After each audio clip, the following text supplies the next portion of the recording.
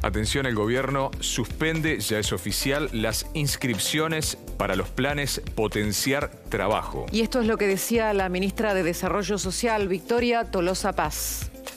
Para dar a conocer el decreto presidencial que busca empezar a trabajar en esta etapa en la Argentina, que el Potenciar Trabajo, una política muy importante para el reconocimiento de la economía popular, empieza a tener una definición clara. Hay un techo a la incorporación de más personas al potenciar trabajo.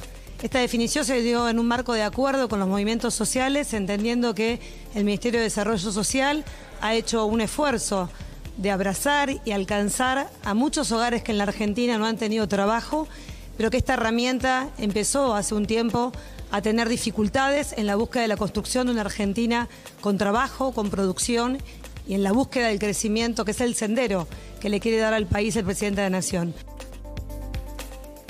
Bien, un anuncio que va a traer polémica, no, no, no cabe duda. Sin duda, eh, las repercusiones de, lo que dicen los movimientos sociales, a pesar de que, según la ministra, hay un acuerdo al respecto. Claro, eh, ¿Qué se busca con esto, Carlos? Sí, sí, eh, lo que se busca justamente, lo decía recién, es poner un límite. Hoy son 1.300.000 los, los beneficiarios del programa Potenciar Trabajo. Se estima que de la auditoría que el propio ministro de, Economía, Sergio Massa, tiempo atrás dijo que se iba a llevar adelante, unos 400.000 serían dados de baja.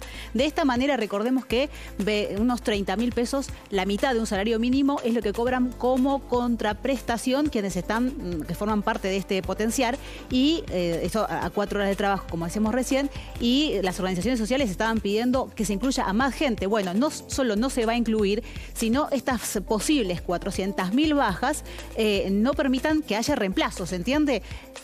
Ese dinero, ese ahorro que se hace el Estado, ¿a dónde iría? Bueno, a la compra de maquinarias. ¿Para qué? Bueno, justamente para cooperativas y para eh, casos específicos independientes que el Ministerio de Desarrollo Social será el encargado de establecer y se aprobará previamente, ¿no? Gracias, Caro. A ustedes.